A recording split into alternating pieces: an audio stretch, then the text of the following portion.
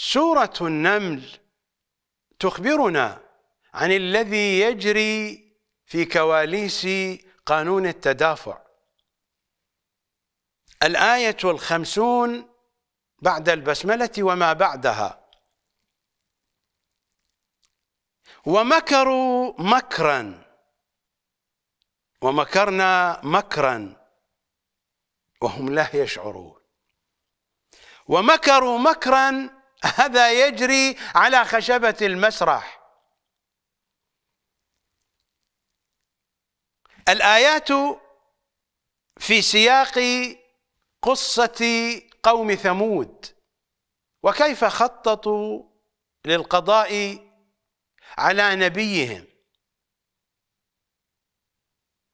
وماذا فعلوا؟ بناقة صالح وماذا جرى وجرى عليهم. ومكروا مكرا. هذا مكرهم. ومكرنا مكرا. وهم لا يشعرون. فانظر كيف كان عاقبة مكرهم. ما الذي جرى؟ أنا دمرناهم وقومهم أجمعين فتلك بيوتهم خاوية بما ظلموا. إن في ذلك لآية لقوم يعلمون. نهاية مكر الله وأنجينا الذين آمنوا وكانوا يتقون. هذا تطبيق قانون التدافع. بحق الأولياء. ولكن عبر المكر الإلهي قانون المكر يقع في كواليس قانون التدافع الكبير. دققوا النظر في هذه الآيات. ومكروا مكرا ومكرنا مكرا. وهم لا يشعرون.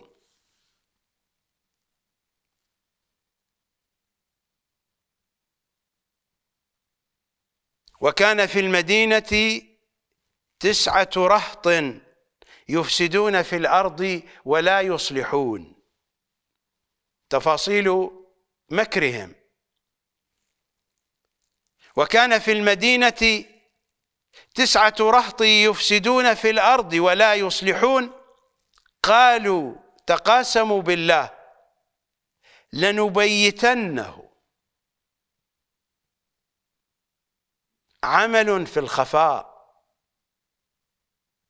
أمر يدبر ويخطط وينفذ في ليل في ليلة ظلماء.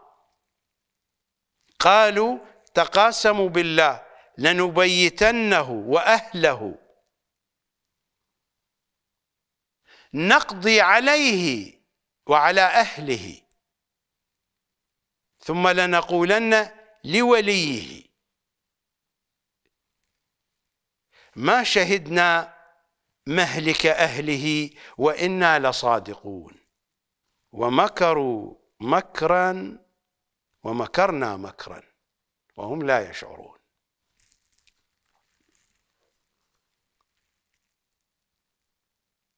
في سورة آل عمران الحديث عن عيسى المسيح في الآية الرابعة والخمسين بعد البسملة وما بعدها.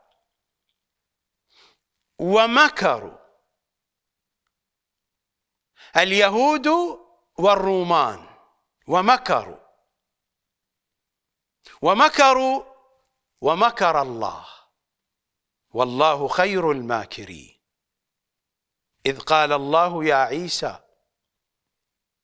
إني متوفيك ورافعك إلي ومطهرك من الذين كفروا وجاعل الذين اتبعوك فوق الذين كفروا إلى يوم القيامة.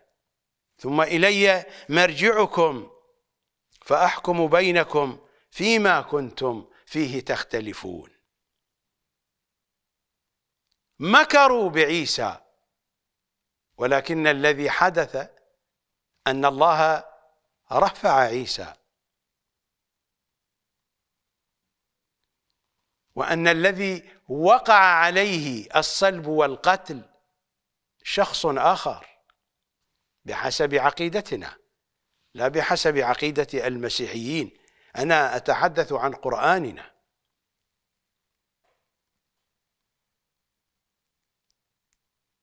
فعيسى رفعه الله وسيعود إلى الأرض. وأولئك الذين تصوروا أنهم قتلوه خططوا لقتله ذهبوا في ضلالهم بعيدا. إنهم مسخرة الملائكة تضحك عليهم. لقد صلبوا شخصا آخر. البرنامج الذي يريده الله طبقه الله وبرنامجهم لم يطبق. والذي صلب هو اختار هذه التضحية. ومكروا ومكر الله والله خير الماكرين. إذ قال الله يا عيسى إني متوفيك ورافعك إلي ومطهرك من الذين كفروا. إلى آخر ما جاء في الآية الكريمة. في سورة الأنفال في الآية الثلاثين بعد البسملة. وإذ يمكر بك الذين كفروا. الحديث عن رسول الله. مر الحديث عن صالح النبي. ومر الحديث عن عيسى المسيح. وهذا هو الحديث عن المصطفى صلى الله عليه وآله. وسلام على المرسلين.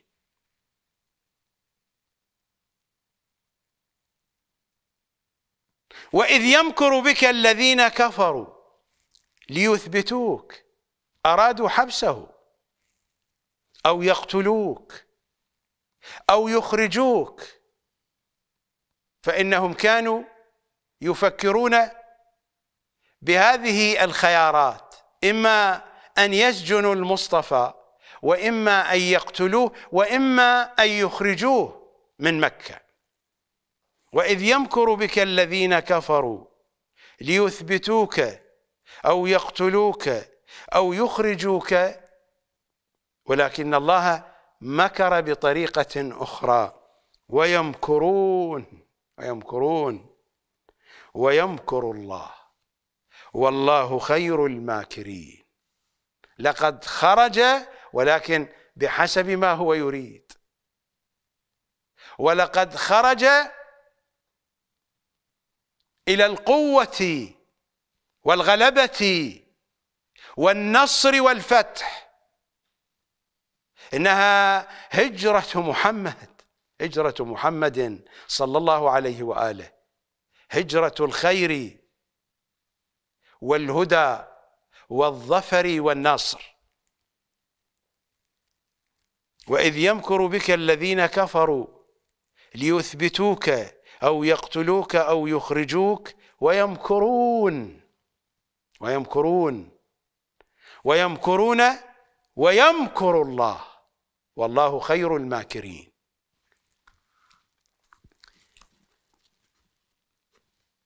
زبدة القول في الآيات الأخيرة من سورة الطارق من الآية الخامسة بعد العاشرة بعد البسملة وما بعدها إلى آخر السورة. إنهم يكيدون كيدا. على اختلاف اتجاهاتهم. إنهم يكيدون كيدا. ولكن ماذا يقابل هذا وأكيد كيدا؟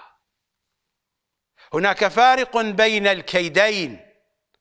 كيدهم مستعجل أما كيده سبحانه وتعالى ليس كيدا مستعجلا. لماذا؟ فإنه لا يخاف الفوت. الذي يخاف الفوت وهذا الذي يكون مستعجلا. ويكون كيده كيدا مستعجلا.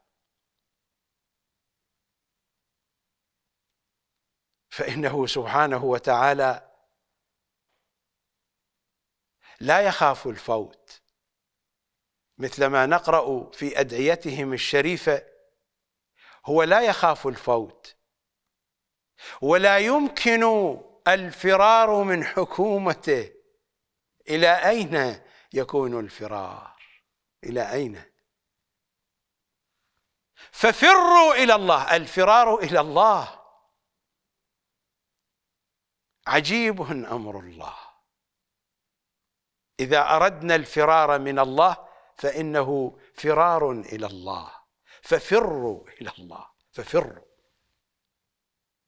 لا يمكن الفرار من حكومته. إنهم يكيدون كيدا وأكيد كيدا. ماذا تقول الآية الأخيرة؟ كل الحكمة هنا وكل الصيد في جوف الفرى كما يقول رسول الله صلى الله عليه وآله هذه كلمة مشهورة لكنها لرسول الله. هناك من يتصور من أنها مثل من أمثال العرب. هذه كلمة لرسول الله. وكل الصيد في جوف الفرى إنهم يكيدون كيدا وأكيد كيدا. فمهل الكافرين أمهلهم رويدا. كيده ما هو بكيد مستعجل. فمهل الكافرين.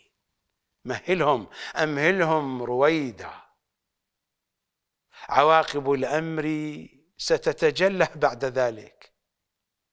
برنامج الغيبة هو هذا. إنهم يكيدون كيدا وأكيد كيدا. فمهل الكافرين امهلهم رويدا نذهب إلى فاصل.